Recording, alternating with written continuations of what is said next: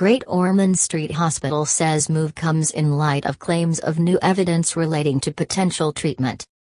Great Ormond Street Hospital has applied to the High Court for a fresh hearing in the case of critically ill baby Charlie Gard, to decide whether it is in the baby's interests to be given an experimental drug. The application to the court follows a letter from seven doctors urging the hospital to reconsider the possibility of treatment.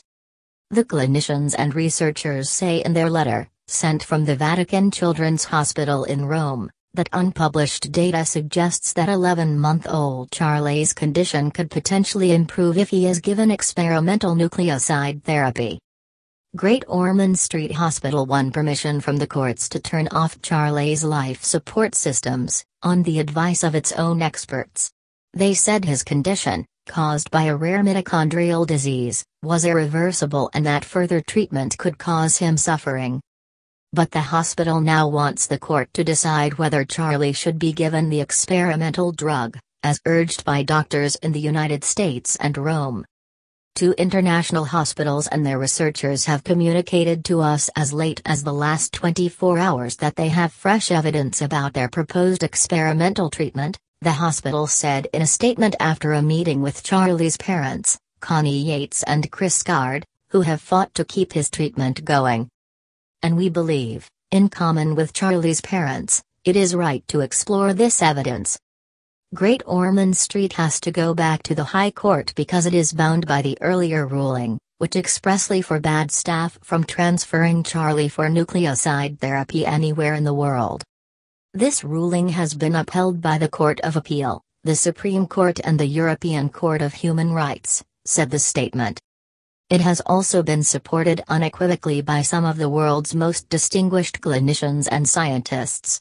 The ruling also states that it is in Charlie's best interests for artificial ventilation to be withdrawn and for his clinicians to provide him with palliative care only.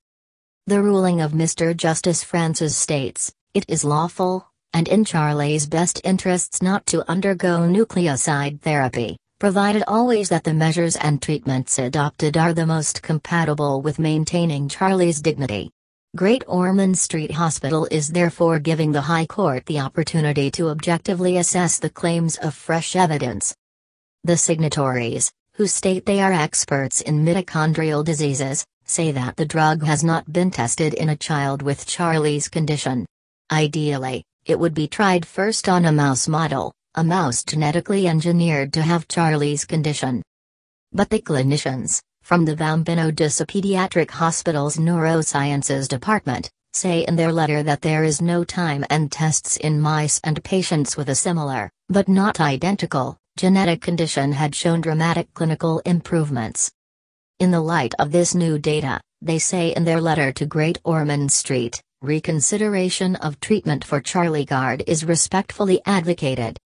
Charlie has severe brain damage and cannot see or hear or breathe for himself because of a mitochondrial condition caused by a faulty gene he inherited from his parents.